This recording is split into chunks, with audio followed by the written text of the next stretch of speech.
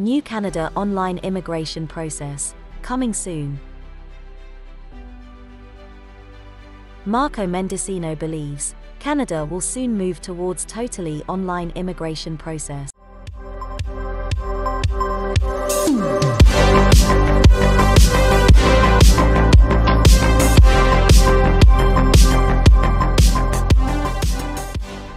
Marco Mendicino, immigration minister states that Canada is progressing towards placing its whole immigration process online in its attempt to compete for immigrants from all over the world. Mendicino mentioned in an online interview, My idea for Canadian immigration system going forward is that it is entirely virtual and touchless, and that each and every one of these stages is incorporated so that we become the greed of the world.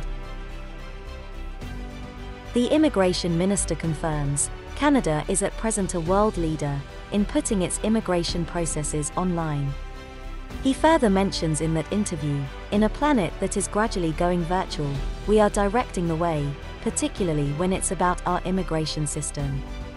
We are the only ones that have shifted our citizenship ceremony virtual, to my wisdom, and presently we are also progressing towards the digital space when it comes to testing applicants. According to Marco Mendicino, Canada has been able to utilize its express entry system and control its online services to aid newcomers settle into their societies by acquiring them the skills, services, and provisions they require before arrival. Canada presently charges a citizenship fee of $630 per adult, which involves a $530 processing fee and another $100 right of citizenship fee.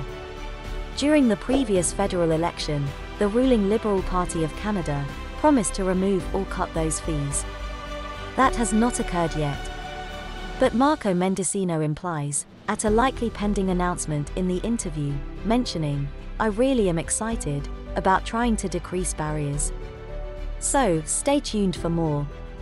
Even though immigration decreased extremely in 2020 because of the coronavirus border and travel limitations, Canada has increased immigration targets to bring in more immigrants than before. The federal government desires to welcome more than 1.2 million newcomers between the years 2021 and 2023.